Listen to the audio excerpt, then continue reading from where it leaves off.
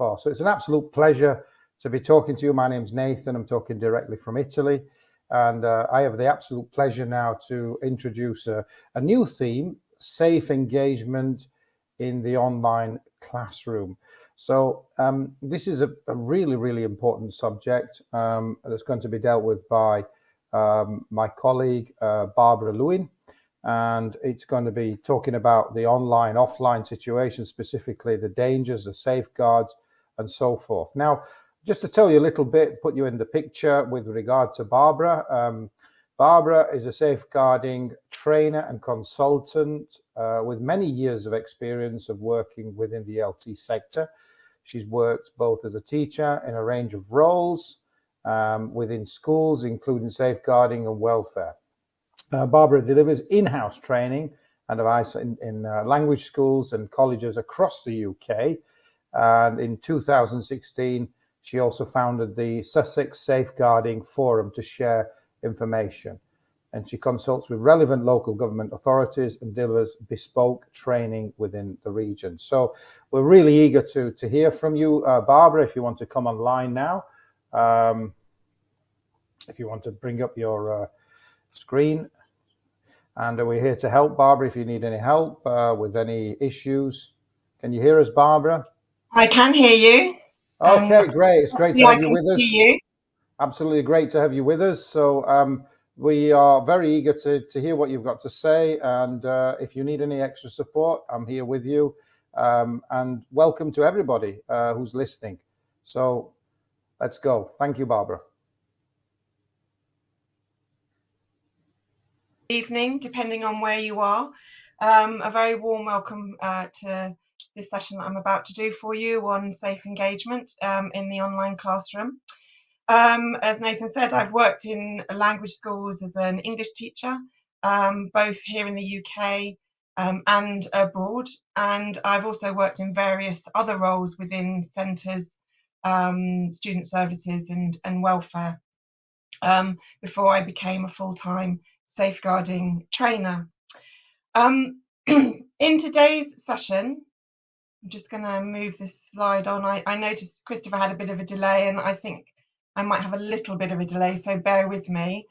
Um, in today's session, uh, we're going to cover four main areas uh, with the aim, hopefully, that by the end of this session, um, you will feel more confident and feel ready to keep your students safe whilst you're delivering uh, teaching online. The session is going to look at what you can do as teachers um, to ensure that your classroom environment is one where safety for your students works alongside your students' learning whilst ensuring that your lessons remain engaging um, and effective. We're going to look at the why, the how, and the what that we can do um, ourselves to ensure that um, safe, we're safeguarding both ourselves and our students. If you have any questions while I'm um, going through the presentation, please put them in the Q&A and I will hopefully be able to answer some of them at the end of the session. So do, do far away as we go through the session um, uh, this morning or this afternoon or this evening, as I say, depending on where you are. Um, I'd like to start uh, by asking you to complete a small poll. So um, Nathan, if we could put the poll up, that would be great. Um, this is just to get a feel of how everybody is feeling around um, this issue of safe engagement. Um, so if you could pop the poll up for the moment and we'll have a look at that and um, see how that's going. So if you can uh, have a look at the poll section and put in your responses, that would be great. Barbara, I'm sorry, I forgot to say we're not going to put the poll on the screen because it causes issues. So if you click, if you oh. click on, the poll tab, um, you can see the poll taking place there. You might need to click on open within the poll tab and see the poll that's taking. Perfect. Yes, I can. Thank you very much. So I'm seeing quite a lot of agrees, majority partly agreeing coming up, um, and a few I don't agree. So yeah, if you can keep going with that just for, we'll see how we go the vast majority seem to be around the the um, partly agree at the moment.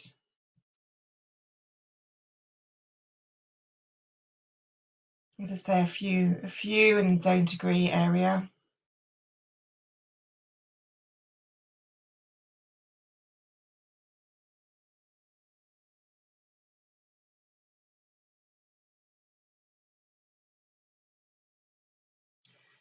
Do do do a, do respond to the poll. If you can't see it, uh, it should just be on your screen under polls. It's please have do it because it's very useful to to see how people feel in the room, in the virtual room, if you like.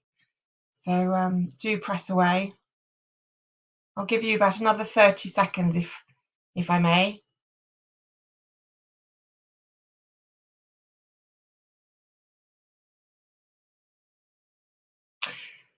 Okay, so I can see that the majority of people seem to partly agree with this. What I hope is by the end of the session, you'll all feel a little bit more um, towards the ticking that you agree, and, and fantastic that there are those already that um, feel quite comfortable and confident around um, the safeguarding area. So, um, why do we need to um, safeguard our students um, when we're online? I'm just going to go back to try and moving that on. I again, I'm not sure if I there we go. Uh, why do we need to keep our students safe? So different countries will think of safe in different ways. Um, in the UK, we refer to safeguarding, but it may well be that you have a different terminology um, in your uh, country, wherever you're based. Um, and for many, the focus of safeguarding is around children, but of course, we're safeguarding our adult students too. In the UK, just to say that uh, for safeguarding purposes, uh, the age of a child is anyone under the age of 18. But again, that may differ depending on where you're based. What we are tasked with really is to ensure that all of our um, children, when we're talking about, as I say, in the UK, are the under 18s, um, are growing up and learning in circumstances that it's is consistent with the provision of safe and effective care, and that we take action uh, to enable all children to have the best possible outcomes. And we want this, as I say, for all of our students, both children and adults, because we want all of our students to feel protected so that they can feel safe in the learning environment um, and, and, where they're learning. And most importantly, of, of course, we all have a responsibility to ensure this. Thing I would like to say is don't always think of safeguarding as those headline news items, the serious incidences that we sometimes hear about. Um, safeguarding is also general welfare, it's the day to day care of our students that we're working with. We need to help our students learn what's appropriate when they're online how to protect them from harming each other, for example, um, with bullying, but or rather stopping bullying, um, but as well as working to support children and, and prevent um, child on child abuse, um, abusive behaviours. The truth is that there are also those out there who want to gain access to young people in particular to carry out illegal or inappropriate abusive behaviours um, forms of abuse, um, such as sexual abuse or criminal exploitation, for their own gain. Our adults, as well as our, our younger students, also need to learn how to keep themselves safe, as we all do, um, and learn how to protect themselves because they may well be vulnerable to exploitation from a financial or, or criminal activity. When we are uh, teaching, I am sure this is the aim that we all have. We want our students to be able to focus on the lessons and be in a place where they are safe to learn and engage with, uh, with us and with other students. This is absolutely the case for all of our students. Safeguarding is important whether we are teaching online or offline. The principles remain exactly the same. The best interest of the student must always be maintained. If we have a concern, we should act on it, report it immediately.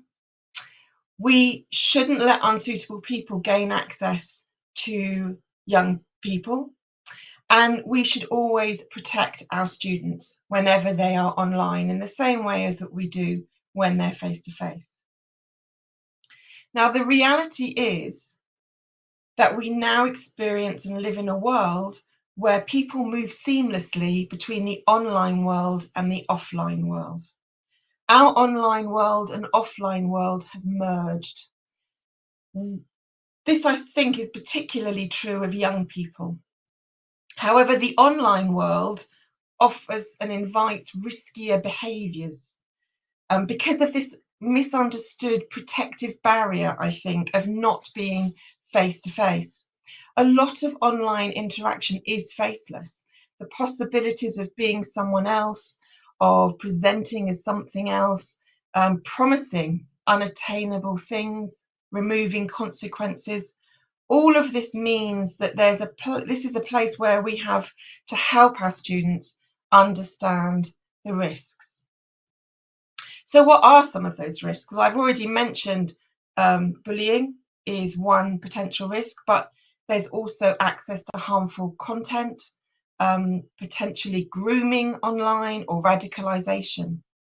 Now, as teachers, you are in an ideal position to help your students navigate this online world so that they are safe during the lesson and that they understand how to keep themselves safe beyond your lesson. So, in the wider context um, of the lesson that you're you're delivering. Now, I was watching Chris's um, very interesting talk just earlier, and I was interested to see that he was referring to the four C's um, in relation um, to the, the discussions around climate. Interestingly, with online safety, we also have four C's um, that we use in terms of the dangers around being online. Now, the first C is conduct. So, this, as I mentioned, is around the way people behave online. It's that riskier behavior, the um, bullying or sharing of inappropriate images, giving away too much personal inf- information. Um, sometimes that pressure to fit in might lead young people to take part in harmful online challenges. Then you have content. Now, content is particularly important when uh, we are delivering online because this is around access to materials that may end up being inappropriate, but it also is around illegal um, or age uh, inappropriate materials or materials that may include things that are violent or discriminatory or perhaps misinformation, um, unreliable content. With contact, this is referring to contact with unsuitable people. Now, this could be um, thinking about grooming situations, adults trying to access young people, perhaps posing as a child themselves, a young person themselves. But it could also be young people pretending to be someone else or seeking access to someone to harm them or, or do harm in some way. And finally, um, there's commerce or contract, and this is around more of a financial harm that can happen online. So, um, blackmailing, frauds, financial scams or frauds, or or phishing, um, or online gambling when it's illegal. Um, you know, if you're not of an age where gambling um, is is allowed or indeed uh, is allowed at all, um, then that's one of the issues. Our grooms are, um, sorry, our students are, are groomed and at risk in many, many ways. And if we look at one particular risk, for example, about online grooming um, that leads to sexual abuse, um, there's a very interesting report that came out last year from um, WeProtect Global Alliance and they reported on the grooming that goes on online. And um, the statistics are staggering. They talked about the fact that there were 3 million accounts registered to 10 sites on the dark web. And if you look at just the states, the amount of reports that are um, being made every day is is quite um, frightening, um, really. Um, and don't think this is just limited to one particular country. This is happening around the world. So it's something that we need to be very, very aware of. And as I say, it's not just grooming. um, for, for adult abuse onto young people, there are other potential risks as well um, around uh, online and what we need to consider when we're working online. Peer on peer or child on child um, abuse. This can take many forms, as I've already mentioned, bullying, but it can also be um, relationship abuse, um, harassment um, for sexual purposes, sort of sharing of images that are inappropriate, digital isolation can increase. If we are delivering online, already our young people or our students are spending time online. Um, uh, we've spent a lot more time online in the last couple of years with COVID and lockdowns. But what happens is, is that young people then um, aren't encouraged to, to go away from the screen and spend more and more time online and not in, in interacting um, in face-to-face situations. Financial exploitation can also happen, and I, I, know that primarily this is aimed at adults, but younger students um, are also at risk, sometimes seemingly willingly, um, and don't think they don't. We had a case quite recently in the UK where a, a teenage boy was uh, convicted of um, a cybercrime where they were um, very cleverly um, uh, duping people out of money and then using that money to to uh, buy other things. So um, the point is, is that young people have a lot of technical knowledge and they may not feel the victim. So we still need to make sure we're putting things in place to safeguard them. As well as all of this, we're also becoming much more aware about the impact of safeguard of online and being online and the impact on our mental health and mental well-being and the mental well-being of our, our students and particularly our young students, they're dealing with a lot of complexities in their life already. And the additional pressures from being online um, adds to these pressures. It's complex, relationships, setting boundaries, pressure to do well, um, family events, national events, world events can all have an impact. So, what is important for us is to make sure that we learn how to notice.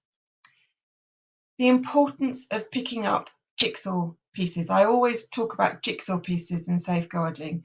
It's the clues. Young people don't often come out with something straight away. They drop hints through behavioural changes, language that seems out of character, absences from lessons, we need to pick up these jigsaw pieces and report them.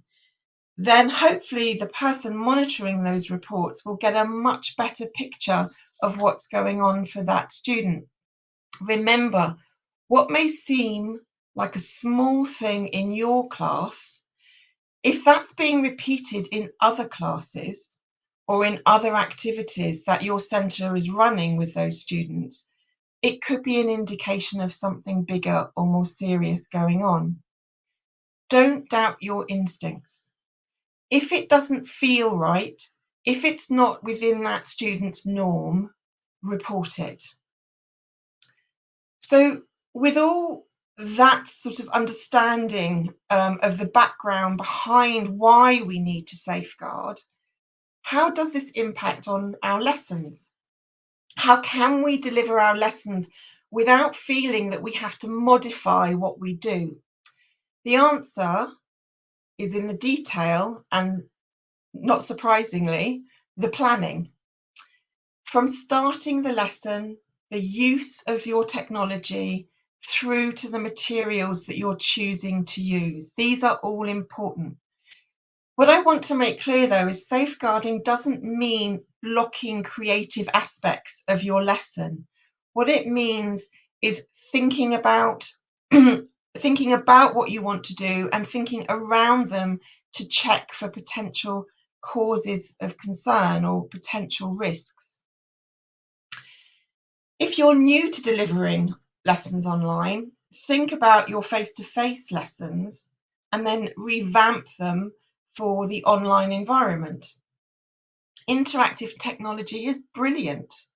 I know sometimes we have problems with them, but on the whole, they're brilliant and they can play a really important part um, in how we deliver. And it can be very exciting to, li- to deliver in this way. And you want to feel you can use it to its full advantage. It's just important, as I say, that you always have safeguarding considerations in your mind when putting together your plan. Think about what you're asking your students to do and think about how you're asking them to do it. Now, you may be delivering your lessons as synchronous lessons. So, this means that you're there, you're present, you're noticing and observing, and you can see those jigsaw pieces in real time. You'll also have more control over the environment that the students are working within. When your lessons are asynchronous, so then the students are working on their own. Here, you're relying on your students to follow your instructions. Think about those instructions. For example, if you're asking your students to do some research, have you checked what kind of websites might show up in that search? Are they age and or material appropriate? if you're asking your students to watch an excerpt or a clip from a, a, video, have you checked the whole video to make sure that there's nothing else in it that may be unsuitable for, for that person, that those students of that age to be watching? It's also important to think about how you start and end the lesson to make sure uh, that the environment that you're you're setting up is safe, is a safe space never have a lesson that um, hasn't been organised by your centre or your school. Don't organise those lessons directly, unless, of course, you're working as an independent teacher when you have no choice. If you have the ability with the technology that you're using to have waiting rooms, use them so that people don't come into the students don't come into the room until you are ready. Use passwords Make sure that video, videos are switched on at all times. It's important to know who's in your classroom. If someone isn't expected, don't let them in. And certainly don't let them stay. Ask your centre, if possible, to provide you with registers um, and uh, ideally photo ID. It's really um, important because we've experienced situations without videos or where videos have been switched off where students have stopped watching and someone has taken their place. There have been examples where a student has switched off their video and then the video has come back on and someone completely different has been there. And in some circumstances, it's been in a room of young people and suddenly an adult has been watching and has had access to all the people and all the young students in the room. So, like I say, having the video on um, is very, very important. I'd also get your students to use their real names. Now, as I've mentioned, we have this seamless world between online and offline, and a lot of people have online personas and use nicknames and online names. But insist on real names in your classroom. It helps to reinforce that this is a formal setting. Um, so always use real names where you can. Don't leave your students on their own in the room, either at the beginning or the end, because this is where things like bullying might take place. And it's also very important to establish the ground rules um, for your students. So let them know who can speak and how. Do they keep themselves muted or unmuted?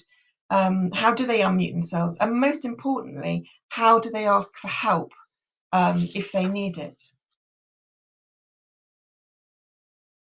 Getting to know your students helps you understand those jigsaw pieces. And of course, we can do this in a, a variety of ways, um, including icebreakers when we first meet our students. However, a word of warning. An icebreaker was set up by a teacher, and two students were put together uh, for this particular activity and were asked to get to know each other as part of this activity, but were given no guidance, no boundaries, and no rules. They were just told find out as much personal information as possible. So one student asked the other, Tell me, what's your family name? Oh, and how do you spell that? Do you have any brothers or sisters? Oh, what are their names? Do you have any pets? What's its name? Oh, that's unusual. How do you spell that? And then they asked, When's your birthday? And well, not just the date and the month, but what year? Now, in the chat box, what do you think that student used that information for? What did it provide the student with? I'll just give you a couple of seconds. Just put a one word answer into the chat box. with all that personal information.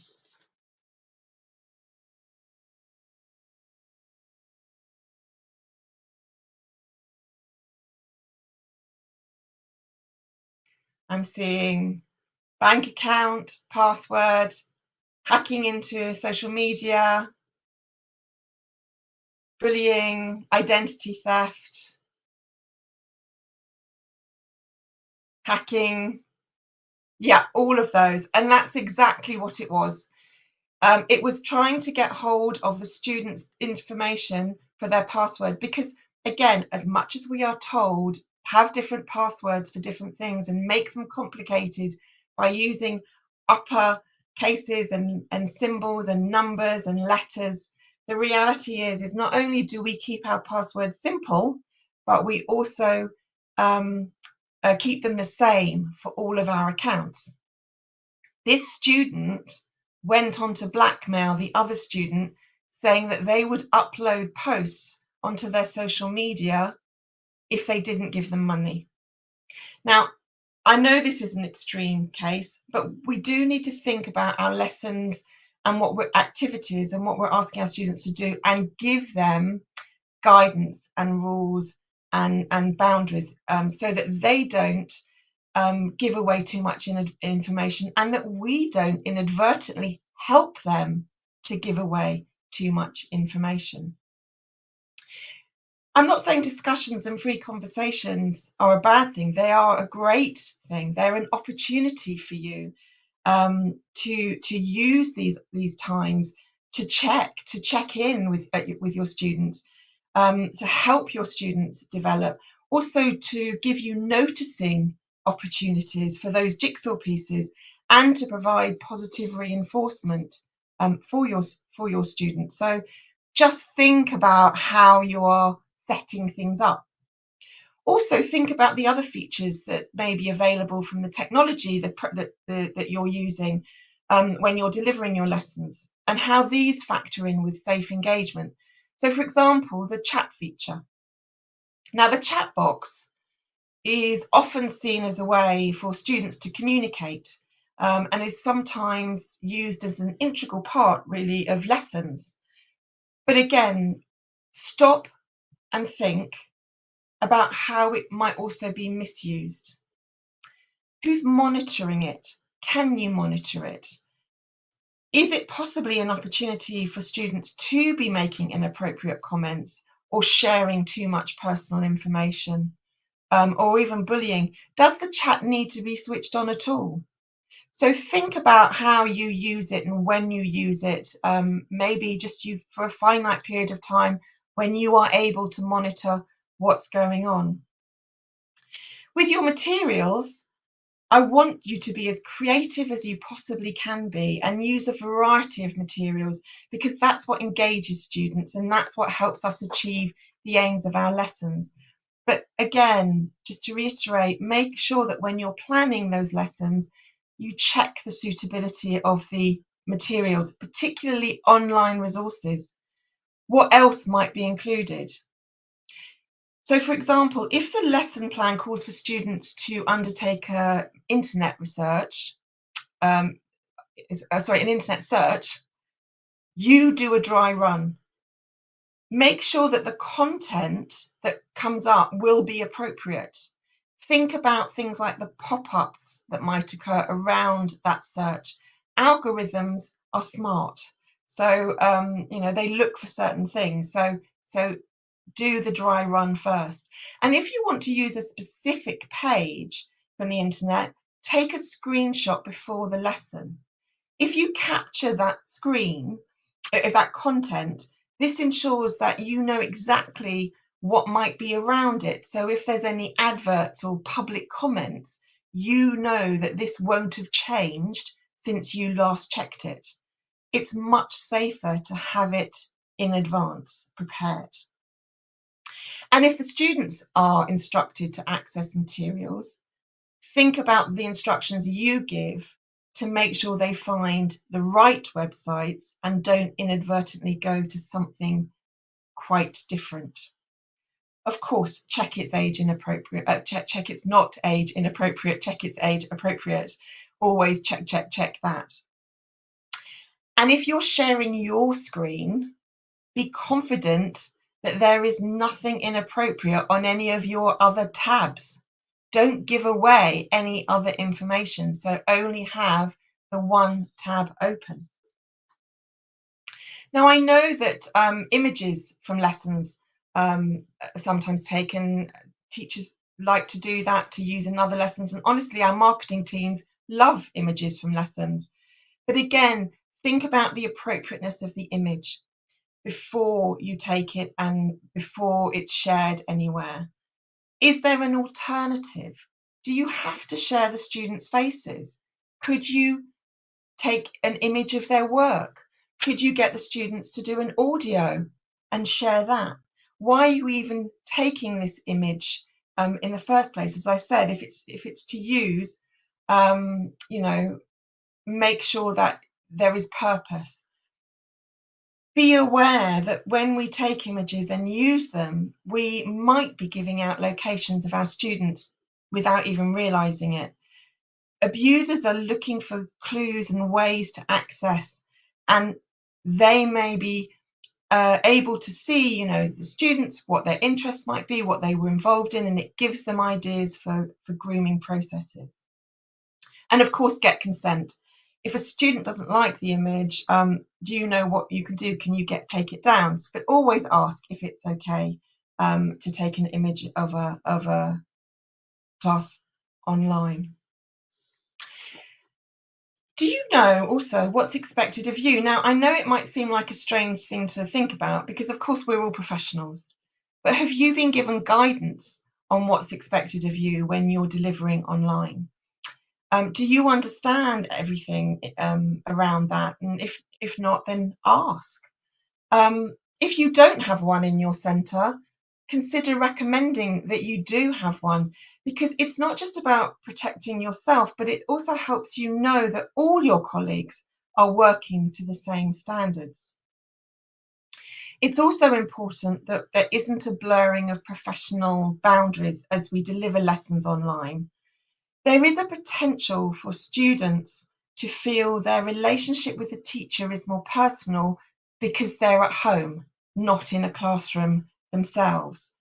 So, whilst they may want to engage about things that are happening in their personal life, remember, um, even if you are delivering from home, that you avoid discussions around um, your personal life and your home. So, having a student's code of conduct is vital. Now, here are some examples of some positive things that you could put into a student code of conduct. Um, and included in that, I've put in about giving them a name of someone that they can contact if they have any worries or concerns um, while they're um, in the lessons and they're learning. But as well as the positives, don't forget we also want to be clear about what they shouldn't be doing. So have something in there about what you won't find um, acceptable and, and, what is not okay. And again, um, make sure that that's very clear to all the students, but not just the students. Tell the parents. So if you're working with young people, make sure the parents are aware of the code of conduct. Make sure they've acknowledged it and they understand it, and that um, it's very clear. If you find yourself in a situation where you have to remove a child from a class because of their behavior, I guarantee the first thing the parents are going to do is to contact you or the centre to say that's why has that happened. Now, if you've got very clear code of conduct that the parents have had before the lessons begin, that helps you. And the open door policy is very important because that open communication between parents and, and the centre is vital. But again, make sure it's done through official channels, the school email, the school phone, um, phone, not your own personal one. Now, I said at the beginning of, of this presentation that it's also important for us to help our students uh, stay safe in the lesson, but it's also important for us to help our students stay safe beyond the lesson. Our modelling um, through the, our lessons is one way of doing this, but we can also create lessons, uh, such as conversation lessons, where we embed online safety messages. Remember that the internet has no borders. Um, you can use what you've heard to inform your teaching. And it's important to remind our students um, about how to keep safe. You know, things like online posts are permanent, stranger danger. Think before you post. Um, social media is not real life. Respect when you are online, respect others. Open up that conversation. Make your students the experts they know an awful lot. So, child to child, peer to peer learning empowers and encourages collaboration. Find ways to engage your students regularly um, in the messaging and, and, and talk about the benefits and the risks of the online world and give them the space and time to ask questions and talk about any worries that they may have here's an example of a, a, type of lesson that you might do. It's, a, something that um, um, uh, I have had seen um, from the British Council, and um, it's a very useful way. Uh, do it yourself. In fact, let me give you a moment just to have a look at this and think about what would you do.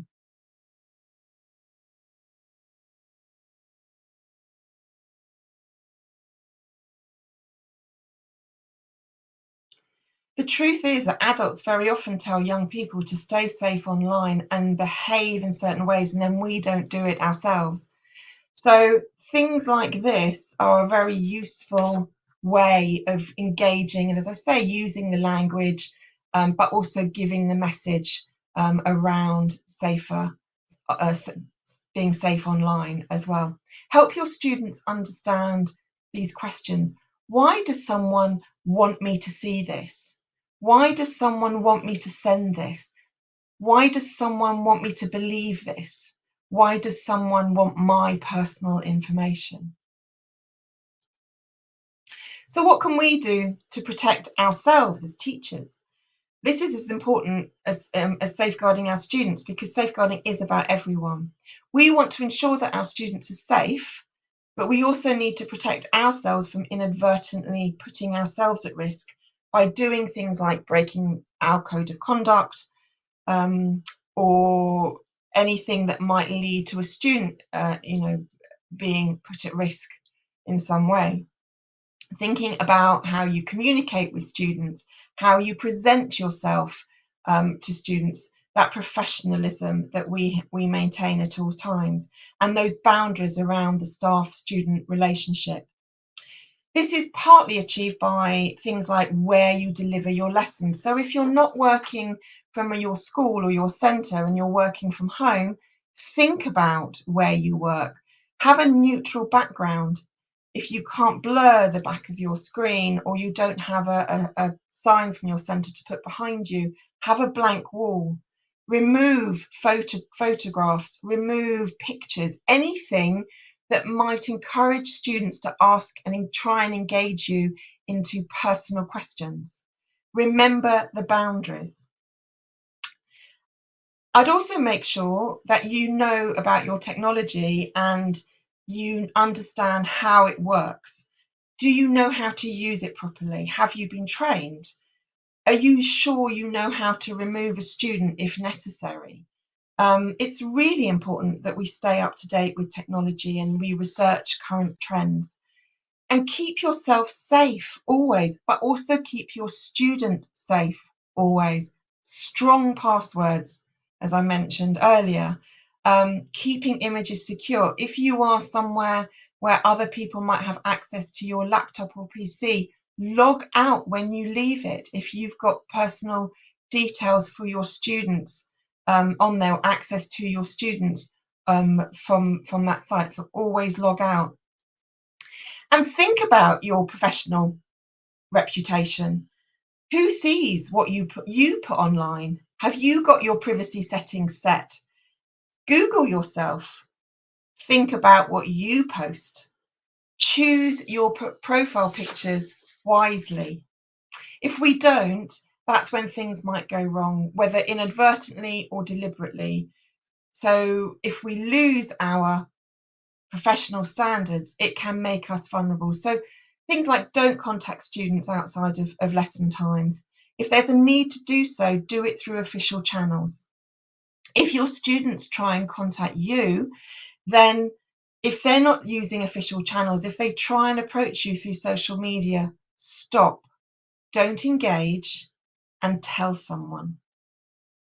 So I just want to ask you now, just for a moment, to do another poll for me, just to see uh, an idea of whether people in the room have had safeguarding or welfare concerns and if you knew what to do. So, Nathan, is it possible to open that poll?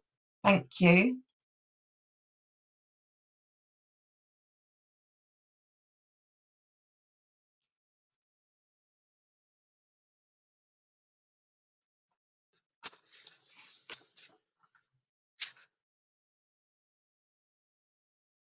I'll just give you a moment to do that.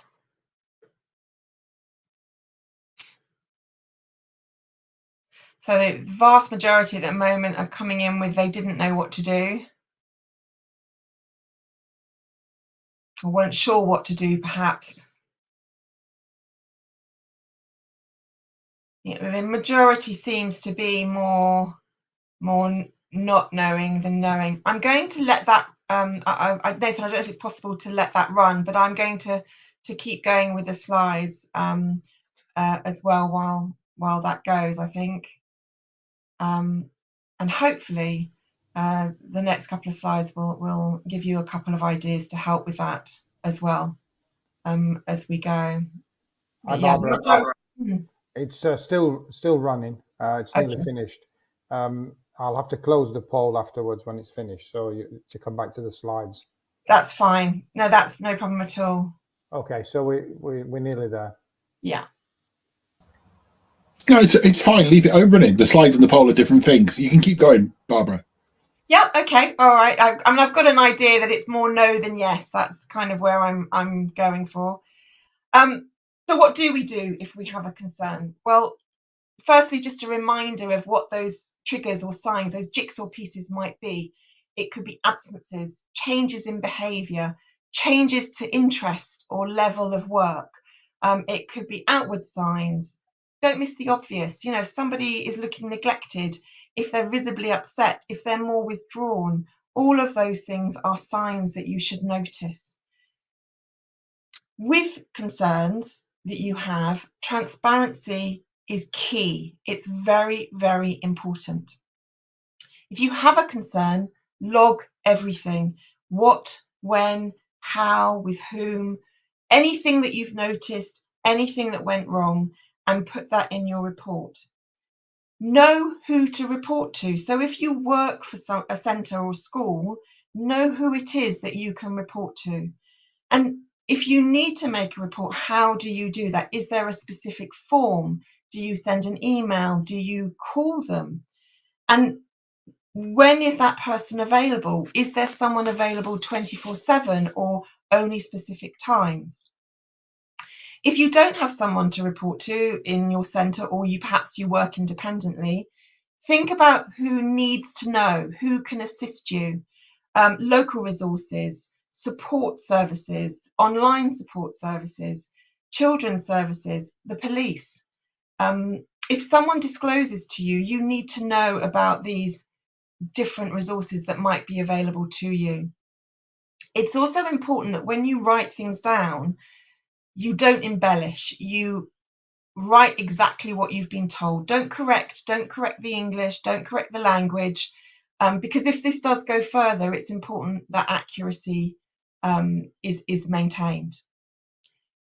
Key is don't promise confidentiality. Secrets are not a good thing. Now, I'm not saying tell everybody. That's not what it means when there's no confidentiality. What it means is you only tell those who need to know. Don't promise someone that you won't tell anyone. Remember that safeguarding is everybody's responsibility. So if you don't feel able to deal with it, tell someone else who you think will be able to act on your behalf. Some things are tricky to deal with, and there's nothing wrong in asking for help. Equally, if you think that you've passed it on and nothing's being followed up, then report that because it's important that things are taken seriously. The other thing that's open to us, um, as well as obviously in our lessons, is to perhaps do welfare checks. Now, regular uh, welfare checks are, are helpful, um, particularly if they've been timetabled at the beginning. They're scheduled in as part of um, the whole process. Um, when they're not scheduled in and they just get added on, sometimes that raises concerns in family homes as to why that's happening, and you might get more resistance. But if you do do a welfare check, that's your opportunity to ask how the student's coping with online learning and is there any difficulties they're having in, in learning in that way and, and are they okay with their classmates remember this isn't an academic chat it's much more about how they are they're, they're um, managing themselves. And remember it's as important to watch how a student responds as much as what they're saying. So um, watch body language too. An alternative might be to send out a very short questionnaire with an open question to ask the students how they're getting on and how they're feeling. There are lots of resources out there um, for you um, to use and to look at. Here are some examples of things that we, uh, websites that we have available to us in the UK, and some of these may well be available to you um, in your country. Um, there are lots of good resources. Find them before you need them. Um, good luck with your lessons. And remember that lessons uh, can be creative and diverse as your imagination allows them to be. Just check in when you plan and ask yourself that question Is there a potential risk here? Can I adapt this slightly to remove that risk? Thank you. Um, we've got a little bit of time now. I was going to have a Nathan. I, I don't know where we are with questions. If there are questions in there, or yeah, we have a, a few questions. There's some absolutely fantastic engagement. Um, obviously, you know, there's a lot of concerns uh, with this, and I think you've highlighted um, quite a few points. Um, I just bring up some of the questions that I've um, I've copied and pasted uh, from the the, the Q and A. Um, one question, quite interesting. I would like to ask, what else can we include on our online lessons except digital handouts, YouTube videos, online games, and Word documents? I mean, the content of the lessons, all of those things you can use. Um, I know that the next session, I think, is looking at, at um, digital learning. So I'm sure that you'll get lots of ideas from that um, as well. I don't think there's any limit on anything that anyone uses. Just think about how it's being used and if there are any potential risks around it. Yeah, yeah, yeah. Great. Yeah, I, I totally agree with that. Um, it's, it's, it's, it's infinite, isn't it? Yeah. And it's got constantly evolving as well. Another question, obviously, to do with safety. Uh, how can we convince parents to watch over the children during the online learning? Many parents think that their children are safe as long as they're holding the device with the teacher delivering the lesson. What can we do in this case? So, you know, this is a it's quite an open-ended question, but uh, it, it sort of follows the general feeling, you know, of, of, of um, the feeling of uh, being safe online and mm-hmm. uh, the I think I think that using something like the student code of conduct and getting that sent out prior to the students starting lessons with you and getting the, the parents to acknowledge that um, uh, the code of conduct. And if you, as a centre, I mean, not a lot of centres don't are happy for the parents not to be there, um, and because you know the teacher manages manages the session without the parents there. Or what they do is they ask the parents to pop in occasionally, mm. make that part of of the guidance that you send to the parents at the very beginning before the lesson starts so that they have clear idea of what's expected of them and then if it's not happening you've got something that you can go back to to say to the parents look this is something you had you acknowledged um, you you acknowledge receipt of and this is this is our terms for doing these lessons don't be afraid to kind of go back to that um, to ensure that that's happening great great Another little question as well uh, made reference to during your uh, presentation, uh, the suggestion to keep the video on all the time. Mm-hmm. Um, that makes some learners uncomfortable at times. They may not want to show, you know, the place where they are and so forth. Um, basically, what what's your recommendation on this and why? I know it's quite challenging, and I know that there are different views on this. Um, I know that some mainstream schools don't have videos on at all. Um, my personal view, as I say, is to have the videos on because and explain to students why. Um, partly because there have been cert- certain situations and circumstances where someone else has then joined the class, and it's then very difficult for the the um, teacher to know who they're working with. It also makes communication between students much harder when you can't see people's faces. Um, but I understand that sometimes, you know, that might not be possible. Technology lets us down and you can't always see people. Um, maybe you can ask for videos to be switched on right at the very beginning and right at the very end and at, at certain periods randomly through the lesson just so that you're checking in with who you have in the room. Yeah, yeah great, great. Uh, another question, what do you think is the most important thing to make uh, teacher-students relationship being trust to each other or having a sort of element of trust with each other online learning? Is it emotional values and are emotional values important? I think it's exactly the same as face to face. I don't think there's any different. It's set, it's creating um, um, rapport between you and your students in the same way as you would with face to face you know, asking, having those open, sort of more free flowing conversa- times when you can have more free flowing conversations, um, getting to know your students. You can let them get to know you, but remember it's on a professional basis. You're not telling them your personal stories. Um, it's it's building that rapport from from that side. So it's no different to to as you would in a face to face environment.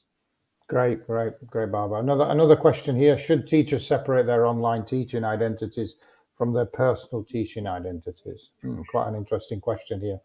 Yeah, I, I would say, you know, anything you can do um, to do that, yes, why not? But little caveat there: um, people are great at finding other people online. Um, I'm not using the word not it's not stalking so much, but it's tracking down, if you like. Hmm. Um, so even if you have a a an online um, identity for your work, um, if you have other present, if you have presence on other social media platforms, your students will find you. Um, so make sure that those are are also set with privacy settings. Be careful what you post on those because they won't always um, just stick with the, your professional identity. They'll they'll look for you if they want to, as they will with their their other students. Yeah, yeah, absolutely. Um, as you well uh, well brought out, uh, students uh, are pretty techy. They're very good, and uh, they often put us to shame as older parents uh, yeah. the way they can find things. Great. Um, another um, question, um, quite an interesting question here. What if it, uh, somebody's in a country where there's you know none of these apply these uh, sort of rules who can help to support them so if they don't have that sort of a, uh, structure there the the guidance um, where can they look on an international level uh, for guidance to, to, to the way to behave online with their students there are a number of international websites um, eh, or websites that now deal internationally and globally. For example, I've got one on screen that's Global Kids Online. Um, so there are organisations that are very aware that, as I, I, mentioned in the in the presentation, you know, the internet has no borders. So mm. a lot of these sites, as long as you can access them um, uh, from where you are, you will get guidance and information um, uh, from those websites, and they can point you in the right direction for things that you might be able to do in wherever your home country may be. So, yes. so do explore. Yeah, great, great. Um, an interesting question here, a little bit more specific. Uh, what do you do in case of bullying? Unfortunately, a, a, problem that does exist all over the world. It is hard to catch the bully if it's on a social media group. Um, are there any tips there? Any um, sort of things that you you could sort of advise with regard to this?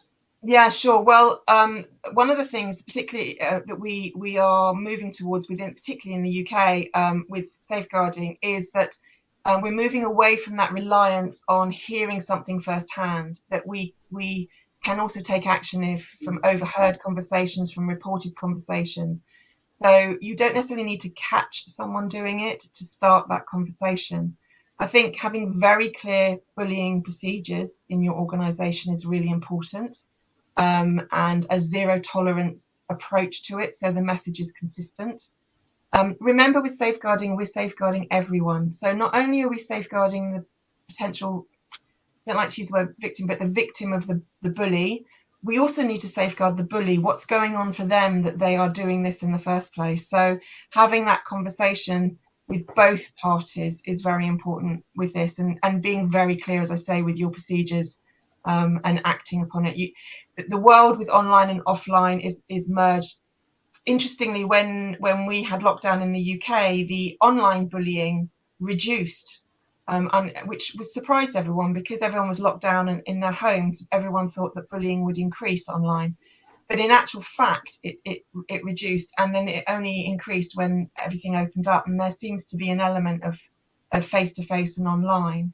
Um, and I think that that that's really Im- important to take on board. That we ha- things are happening in the real world and offline and online as well. So um, it all crosses over. So it's important yeah. even if we overhear it. Yeah, no, it's, it's good to hear that. Um, absolutely, um, it, has been fascinating to to listen to you, Barbara.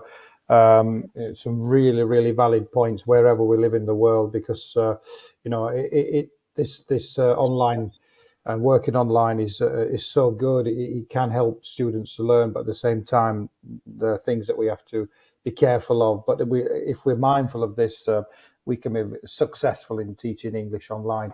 It's been absolutely great to have you with us, Barbara. Um, it's an absolute pleasure. I'm going to bring myself back on, um, and uh, we'd like to thank Barbara very much. And we really appreciate the excellent presentation, coherent, very clear